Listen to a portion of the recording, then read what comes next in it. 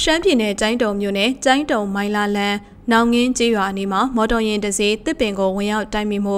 မေလတရက်မနက်9:00နာရီခွဲခန့်ကဖြစ်ပွားခဲ့ပြီးတအုပ်သေးဆုံးပြီး6ဦးတရားရရှိခဲ့တယ်လို့မြန်မာနိုင်ငံမိသက်တပ်ဖွဲ့ကသတင်းထုတ်ပြန်ပါတယ်။ကျိုင်းတုံမြို့နယ်ကျိုင်းတုံမိုင်လာလန်နောင်ငင်းကျေးရွာအနီးမှာရင်တစည်းအရှိန်မထိန်နိုင်ပဲတစ်ပင်ကိုဝင်ရောက်တိုက်မိမှုဖြစ်ပွားကြောင်းသတင်းရရှိတဲ့အတွက်ကျိုင်းတုံခရိုင်မြို့နယ်မိသက်စခန်းကတန်တီမိသက်တပ်ဖွဲ့ဝင်တွေနဲ့ ကယ်ဆယ်ရေးလုပ်ငန်းတွေတွားရောက်ဆောင်ရွက်ခဲ့ကြောင်းမြန်မာနိုင်ငံမိသက်တပ်ဖွဲ့ကထုတ်ပြန်ပါတယ်။အဲ့ဒီရင်မတော်တဆမှုဖြစ်စဉ်ကြောင့်ရင်မော်ပါတဲ့အမျိုးသား9ဦးအမျိုးသမီး2ဦးတွေကအမျိုးသား2ဦးသေဆုံးခဲ့ပြီး6ဦးတရားရရှိခဲ့တယ်လို့ထုတ်ပြန်ချက်အရသိရပါတယ်။အဆိုပါဖြစ်စဉ်ကတရားရရှိခဲ့သူတွေကိုတိုင်းနေလူမှုကူညီရေးအသင်းရင်နဲ့တိုင်းတုံစေယုံကိုပို့ဆောင်ပေးခဲ့တယ်လို့သိရပါတယ်။